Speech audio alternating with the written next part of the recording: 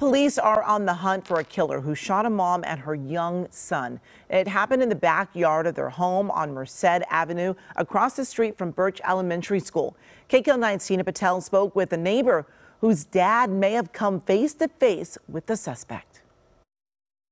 I didn't go to sleep.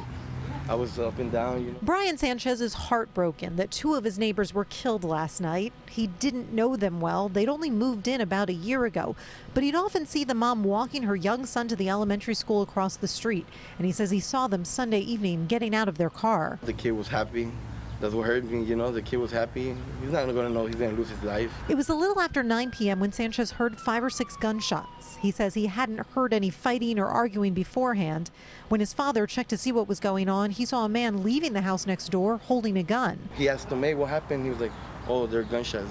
I suggest you to go inside, but in Spanish. Sanchez says even though their family saw the man drive off, they didn't realize he had been the shooter.